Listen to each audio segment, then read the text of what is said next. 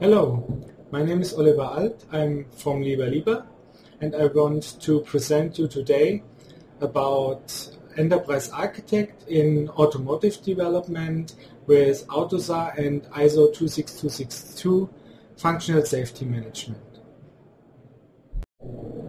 LieberLieber is an Austrian software company with location in Vienna. We are a partner company of Sparx Systems Sparx Systems is a modeling tool provider and the vendor of Enterprise Architect. And I want to tell you about the possibilities of um, automotive engineering with Enterprise Architect. Further areas of our company besides uh, model engineering with Enterprise Architect are multi-touch engineering and .NET software engineering. Sparx Systems Enterprise Architect is a UML and SysML modeling platform. With more than 300,000 users worldwide, it is a widely used um, tool in all kinds of industries and domains. It is used for business, software and embedded engineering. Enterprise Architect is an open platform. You can extend the tool out of the box with own plugins, scripts, and language extensions, so-called UML profiles, to fit your own requirements, not um, to fit your own requirements not covered by the tool out of the box. In automotive engineering, you have many challenges for the development. At um, the base, you have different process models and process norms you have to fulfill, like SPICE or Automotive SPICE or CMMI or uh, perhaps the INCOSE systems engineering process. On top of these base processes, you have uh, further norms for functional safety management, like the IEC 61508 or the ISO 26262 for um, special containing special requirements for the um, um, functional safety management. And beside these um, base processes and functional safety management norms, um, we have different uh, further challenges in the development area in automotive engineering, like um, development uh, with the AUTOSAR standard in software engineering, or C code generation. You can um, today, if you make model-based engineering, you can use these models to generate code. In domains like HMI, um, in domains like um, multimedia and car multimedia, you have things like user interface modeling. And uh, one big topic in uh, for all these process norms is a full traceability through all kind of work products and the complete product lifecycle. In systems engineering, you have normally three building blocks. The first building blocks are the requirements. Requirements are normally defined as text with these textual requirements combined is the architecture. The architecture describes the structural parts of the system, their interfaces and interconnections. And the third building block in systems engineering is behavior. Behavior is also um, contained in the requirements texts, but uh, what is meant here is a more formal behavior like a behavioral model in UML, for example, a state chart model, or a behavioral model in MATLAB Simulink, for example, um, where code or um, test cases can be derived by uh, tooling. So um, what kind uh, the behavior meant here is more formal behavior. When you use model-based systems engineering, then you have a model um, as a central database for your development.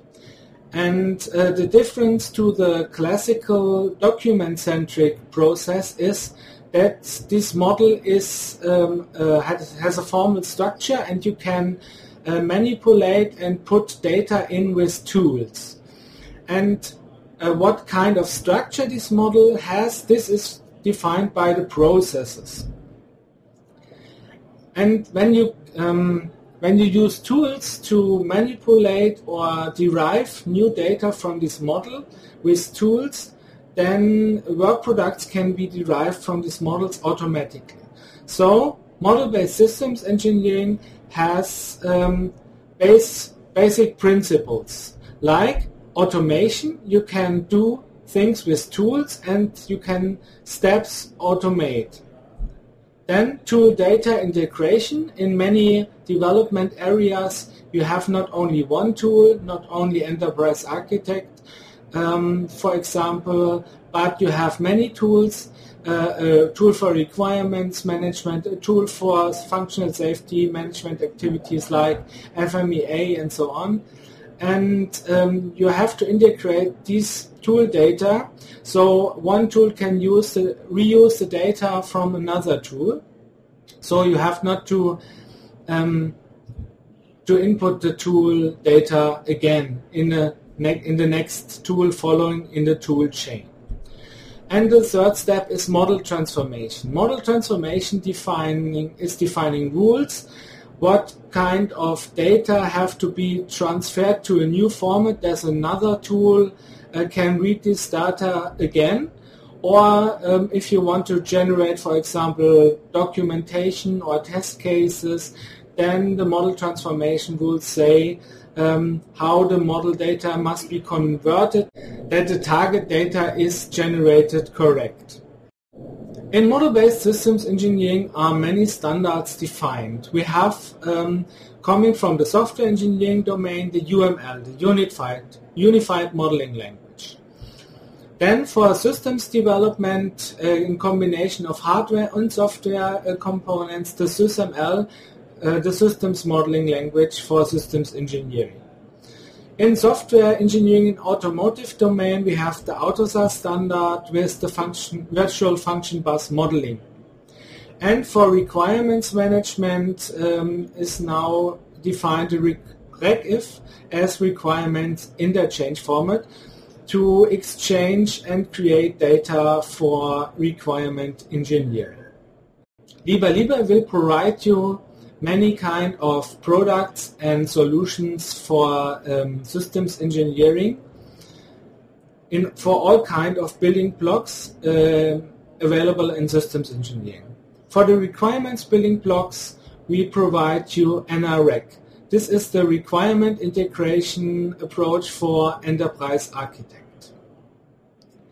On the architectural side, we have um, extensions for SysML, um, and for functional safety modeling to um, enhance the standard capabilities of Enterprise Architect for an easier and more convenient uh, more convenient way to model systems engineering models and system architecture models.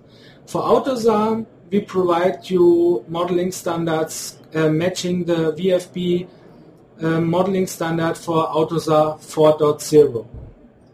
And for the behavior uh, building block in systems engineering, we provide our tool Amuse for advanced modeling using simulation and execution to uh, generate code and simulate and execute uh, behavioral models from UML and SysML.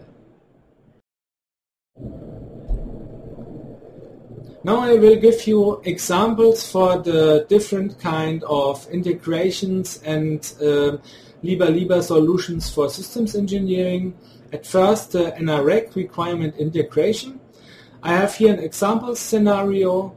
Um, you see Enterprise Architect on the right side and a requirement repository. This might be a DOORS, an MKS, or a Polarion repository on the left side and you can now um, transfer data via the NREC requirement integration between Enterprise Architect and the requirement repository. It is important that one uh, side is the master and one side is the slave. So typically Enterprise Architect is the slave because um, beside Enterprise Architect a requirement management system is used. So all kind of changes are done in the master and um, the slave has only a represent a representant or a link to the uh, element in the master repository um, um, included. And by including the elements from the requirement re repository into Enterprise Architect, you can then relate these elements in the Enterprise Architect model to other elements like architectural elements and so on. The next example is the AUTOSAR um, virtual function bus modeling with Enterprise Architect. You see here an example taken from the AUTOSAR standard specification um, of a virtual function bus model. Um, we are able to provide you the um, UML um, profile to support the AUTOSAR modeling standard so you can use the AUTOSAR modeling symbols with Enterprise Architect. It is also possible to combine these um, kind of diagrams with other diagrams in the um, Enterprise Architect model like SysML, uh, SysML models and SysML diagrams.